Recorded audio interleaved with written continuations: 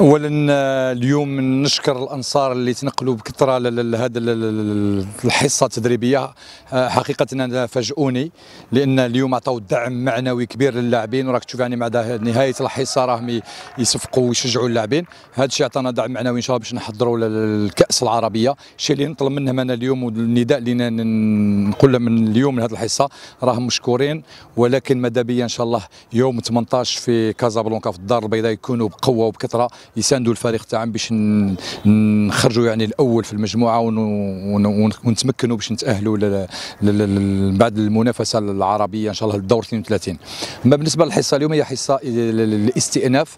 آه، بعد ثلاث أسابيع عمل وثلاث مباريات ودية. اليوم بدينا حصه الاستئناف الأسبوع هذا لأن نتنقلوا يوم تركيا يوم الخميس إن شاء الله مساء. هو واضح لأن البطولة العربية يوم 18 أول مباراة آه، رسمية لاتحاد طنجه راح تكون يوم 18 آه، أوت إن شاء الله.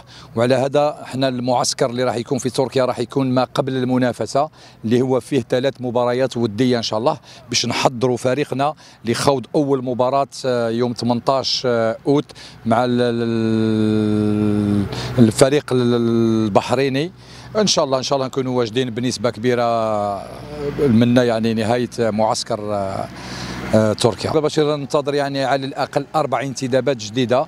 نظن رانا في الطريق الصواب نظن هناك مدافع محوري وسط ميدان دفاعي آه، رقم 10 يعني صانع ألعاب ومهاجم صريح. رقم 9 إن شاء الله يتصلوا يوصلوا بنا لتركيا إن شاء الله.